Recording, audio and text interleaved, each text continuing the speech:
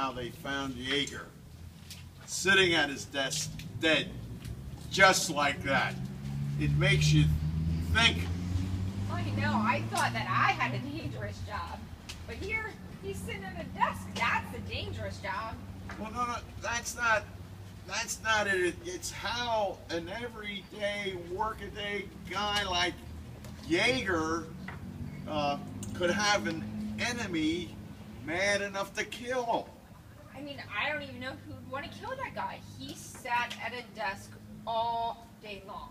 I can't think of any reason why someone would want to do that. I can think of a few reasons. Oh, oh okay. Everybody reads that their paper. His opinions become the town's opinions. And how about that Harvey White?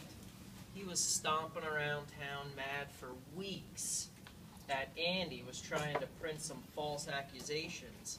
That White and his best friend, I.L. Sprecher, got into some argument about some water runoff from the roof from their adjoining buildings.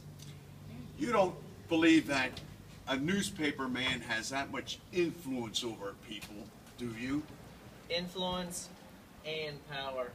Now, just between you and me, he was always sneaking around here trying to dig up information on this place. And then he'd go and print some accusations.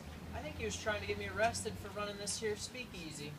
Well, speakeasies are illegal. Woo! Cheers to that. Woohoo!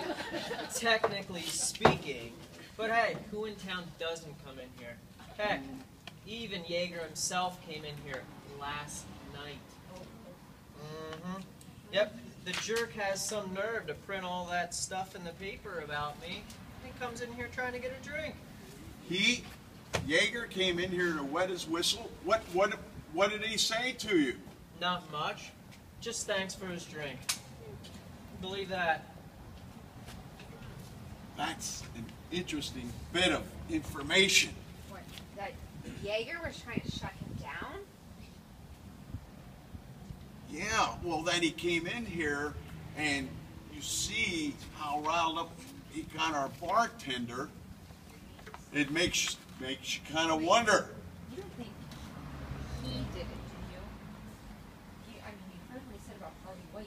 Maybe he did it. He's just talking white to divert attention from himself. Move the spotlight on somebody else. Oh, Hey, here's Sprecher. Hey, Mr. Sprecher, how you oh, doing? What's got you all shook up? Elias, give me some of your best hooch right now. Oh, buy me some too!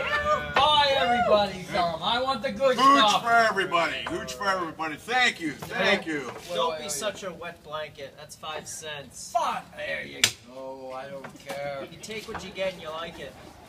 To Arthur Jaeger. What a great guy. Jaeger. He doesn't have that much in. Oh, that was good. That was really good. It's top shelf. I'm telling you guys, I, I, I know, I know who killed Jaeger. Wait, I You- you know. who do? Oh yeah. You do. I don't even want to say it. It's my, my friend Harvey. It has to be Harvey. I saw him just the other day, running, making a beeline to Arthur's office. He was so mad. He was so angry. He had fire coming out of his eyes. You know, that whole article, the whole thing about the water runoff from my building to his, oh, gonna yeah. destroy his business. You know how he is about his business. Nothing is more important. Arthur was so mad. I'm sorry, I mean Harvey was so mad at Arthur. He would have killed him. I know he would have killed him. Absolutely. I mean, I'm not so sure. I'm not so sure. So we have another scene, another food